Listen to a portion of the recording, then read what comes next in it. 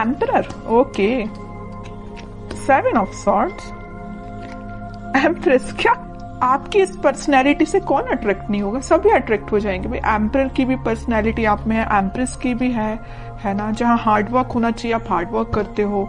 जहाँ smart work होना चाहिए स्मार्ट वर्क करते हो। जहाँ पे लोगों को कैसे डील करना? सबसे मेन चीज़ मैं यहाँ बोलूँगी। इन दोनों एनर्जी से जो मुझे नज़र आ रहा है मेन चीज़ यही है कि आप में लोगों को डील करने की क्वालिटी आ गई है। अभी तक आपको नहीं पता चलता था कि किस पर्सन को कैसे डील करना है। बट देखिए, बीच में जो कार्ड निकल के आया है ना सेवन ऑफ़ सॉर्ट्स आप में वो सारी क्वालिटीज आ गई हैं। How to deal person and how to deal negative peoples सारी क्वालिटीज आप में आ गई हैं। और ये क्वालिटी कैसे आई है? पता है आपको? देखिए आपकी रीडिंग में मैंने नोटिस किया था, पिछली रीडिंग में भी टावर कार्ड निकल के आया था। इस रीडिंग में टावर निकल के आया बट कहा निकल के आया टावर बॉटम में निकल के आया है टावर कार्ड ठीक है, वो भी सेवन ऑफ़ पेंटिकल्स के साथ। तो मैं एक चीज़ यहाँ आपको क्लैरिटी दे दूँ पहले। ये जो टावर कार्ड निकला है ना, निकला बॉटम में है कार्ड्स के। तो ये आपकी एंडिंग ही है मींस आपके निगेटिव चीज़ों का एंड होना। अभी तक आप टावर मूवमेंट से डील कर रहे थे आई नो कुछ लोगों की लाइफ में उनके फैमिली मेंबर्स हैं, कुछ लोगों की लाइफ में उनके नेगेटिव लोग, कुछ फ्रेंड्स हैं, कुछ लोगों के पार्टनर ही नेगेटिव हैं, है ना? कुछ लोगों ने थर्ड पार्टी सिचुएशन में रखा, आपके पार्टनर ने आपको मीन्स बहुत सारे डिफरेंट टाइप्स की सिचुएशन से आप डील कर रहे हो। मतलब टावर मूवमेंट से डील किया है आप लोगों ने। तो मैं आपको एक चीज़ यहाँ क्लैरिटी दे दूँ। जितनी भी निगेटिविटी थी, जितनी भी टेंशन थी, जितनी भी आपने अभी तक स्ट्रगल किया, वो सारी चीज़ों का एंड होने वाला है। हो सकता है। आपने काफ़ी वेट किया। मुझे लग रहा है आप बहुत ज़्यादा टाइम से किसी पर्सन का वेट कर रहे हैं या किसी सिचुएशन का ठीक होने का वेट कर रहे हैं। जो टावर मूवमेंट आपकी लाइफ में आ चुका है, उसका ठीक होने का वेट कर रहे हैं। और ये आप कुछ महीने से नहीं वेट कर रहे या कुछ दिन से वेट नहीं कर रहे। कुछ लोगों का यहाँ वेटिंग पीरियड मुझे ईयर्स का लग रहा है। कुछ सालों से भी वेट कर रहे हैं आप। है ना? तो काफ़ी पेशेंस आपने रखा है।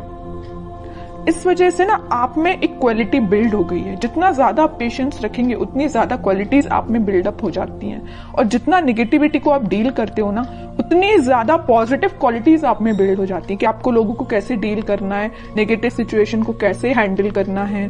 कोई अगर आप में आप में कुछ नेगेटिव थॉट्स आ रहे हैं तो उसको डील कैसे करना है? अपने आप को एम्पर और एम्प्रेस की पोजीशन में कैसे लेके जाना है? तो मैं कह रही हूँ ना, ज़रूर आपकी लाइफ में नेगेटिविटी आई है। आपने इसको डील किया है स्ट्रगल देखा है, लेकिन आप एक अलग ही टाइप की पर्सनैलिटी बिल्ड करके बाहर आए हो।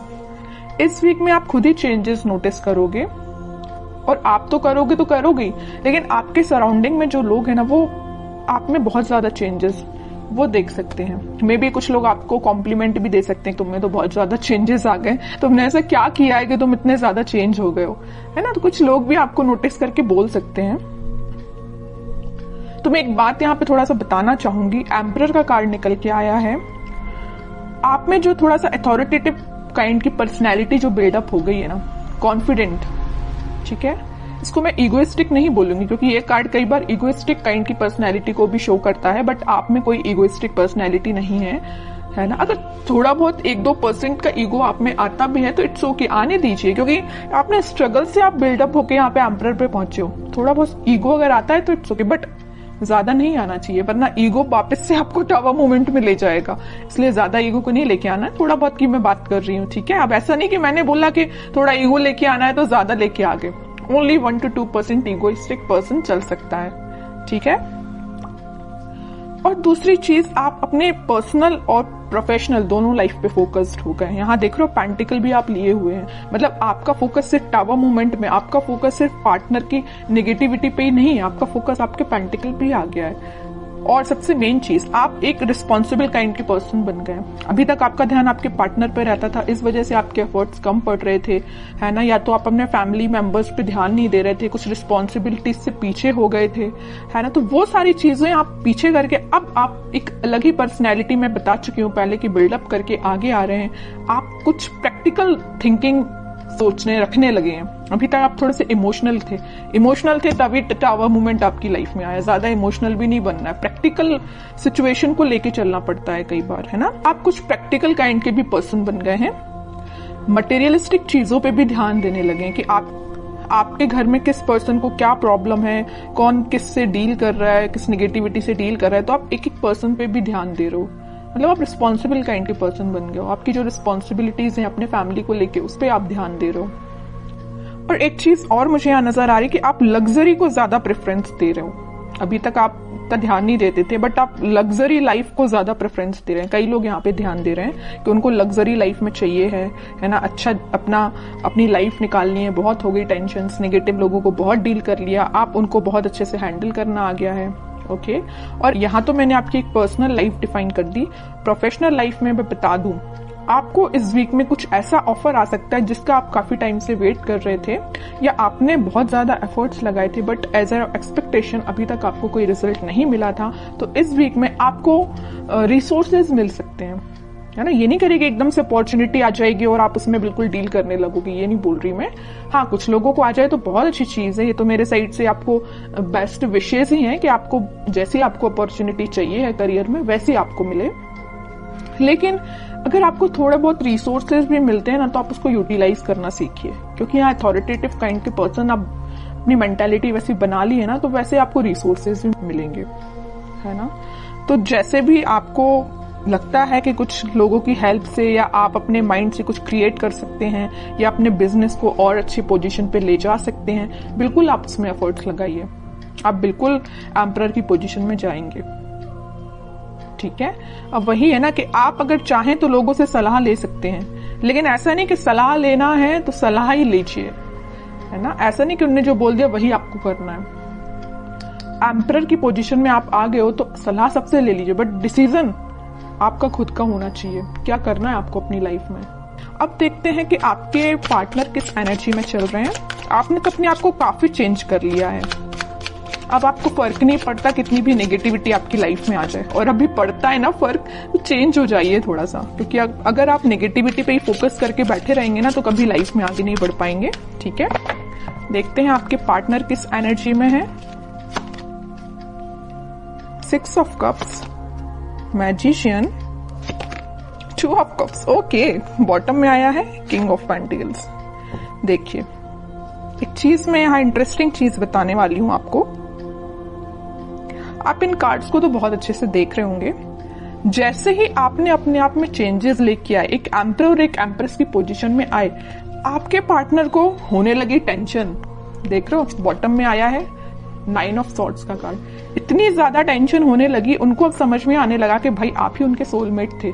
उन्होंने आपको क्या तो भी टावा मूवमेंट दिया, वो आपकी सिचुएशन पे डिपेंड होगा, किसी को थर्ड पार्टी में रखा, किसी किसी से कम्युनिकेशन नहीं किया, किसी को कोई और प्रॉब्लम क्रिएट कर दी, जो भी चीज़ें आप अपने हिसाब से उसको लीजिए तो जो भी टावर मोमेंट आपकी लाइफ में वो लेके आए ना, उनको एकदम से फिर बाद में रियलाइज़ हुआ कि यू आर देयर सोलमेट है ना अब वो मैनिफेस्ट कर रहे हैं। आप, आपसे रियूनियन करना चाहते हैं, आपको ऑफ़र देना चाहते हैं। यहाँ देख रहे हो ना, यहाँ पे वो कप ऑफ़र कर रहे हैं तो आपको कर रहे हैं। वो मैनिफेस्ट कर रहे हैं। उनके बैक ऑफ़ द माइंड ये सारी चीज़ें चल रही हैं।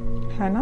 वो भी किंग की पोजीशन में तो आ गए किंग ऑफ़ पेंटिकल उनका उनका ध्यान आपको ऑफ़र देने का है है ना? या तीनों के तीनों कार्ड जो आए हैं ना, वो सारे यही बता रहे हैं कि आपके साथ वो रिकनेक्ट होना चाहते हैं मैनिफेस्ट कर रहे हैं। मे बी प्रेयर्स कर रहे हो स्पिरिचुअलिटी से कनेक्ट कर रहे हो, अपने आप को, वापस से आपसे कनेक्शन बनाया जाए।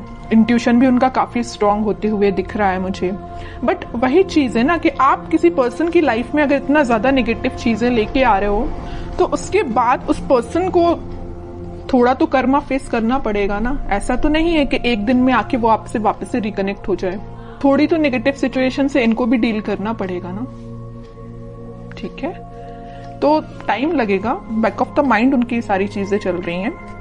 बट अभी एक्शन ओरिएंटेड तो ऐसा कोई कार्ड नहीं आया है।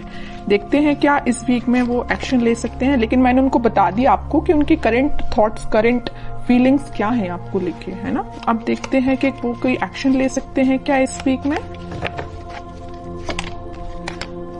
यहाँ आया है जजमेंट का कार्ड मैं एक चीज़ यहाँ पे आपको बताना जस्ट मेरे माइंड से स्किप हो गया। मैं तभी आपको बता दी थी टू ऑफ़ कप्स का जब कार्ड आया था। यहाँ पे यूनिवर्स इनको अचानक से क्यों इतनी टेंशन होने लगी? क्योंकि यहाँ पे यूनिवर्स का इंटरवेंशन हुआ है। यहाँ भी यूनिवर्स का कार्ड निकल के आया। तो इनके बैक ऑफ़ द माइंड जो चीज़ें चल रही हैं, वो किसकी वजह से हैं? यूनिवर्स के इंटरवेंशन की। तो मैंने बोला ना कि कर्मा तो फेस करना पड़ेगा। थोड़ी नेगेटिव सिचुएशन तो इनको भी देखनी पड़ेगी। और वो कब होगा? जब यूनिवर्स का इंटरवेंशन होगा तो वो हो चुका है। इस वीक में वो ऐसा कुछ रियलाइज़ कर सकते हैं कि भाई उन्होंने जो किया, वो गलत था। किसी पर्सन को टावर मूवमेंट में देना थोड़ा सा गलत ही है। है ना? तो ये ये सब रियलाइजेशन इनको यूनिवर्स के थ्रू हो रहा है। अब देखते हैं कि लास्ट कार्ड देखते हैं, क्या वो कोई एक्शन ले सकते हैं इस वीक में? थ्री ऑफ़ सॉर्ट्स जितनी, इतनी देर से मैं जिस चीज़ को लेके डिस्कस कर रही थी ना third party situation negative situation tower movement ये आपको 101 परसेंट अब मैं क्लैरिटी के साथ बोल सकती हूँ कि यहाँ पे थर्ड पार्टी सिचुएशन है। और ये ना इस थर्ड पार्टी सिचुएशन से काफ़ी ज़्यादा प्रॉब्लम में है। या मेंटली सेटिस्फाइड नहीं है।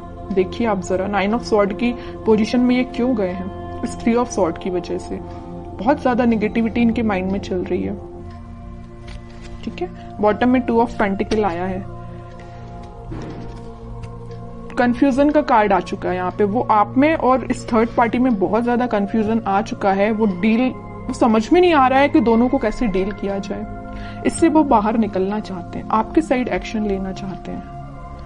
अभी भी कोई एक्शन रिलेटेड कार्ड नहीं आया है तो मैं एकदम नहीं बोलूँगी अभी कि आपको इस वीक में एक्शन कुछ मिलेगा बट मैं बता रही हूँ कि उनके करंट थॉट्स बहुत ही ज़्यादा टिपिकल काइंड के चल रहे हैं। आपको मे भी लग सकता है कि उनकी लाइफ प्रॉपर चल रही है बट आप देखिए, सारे कार्ड्स ने उनकी लाइफ को डिफाइन कर दिया।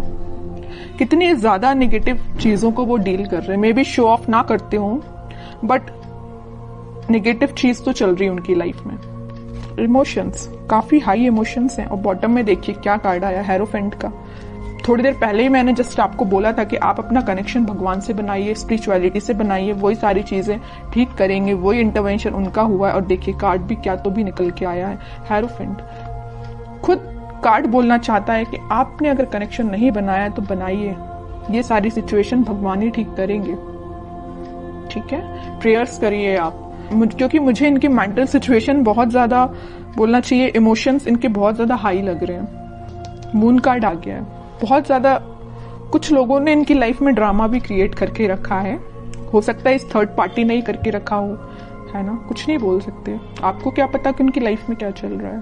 तभी मैं कह रही हूँ कोई थर्ड पार्टी जो भी इनकी लाइफ में है, उन्होंने इनको नेगेटिव सिचुएशन में डाला है।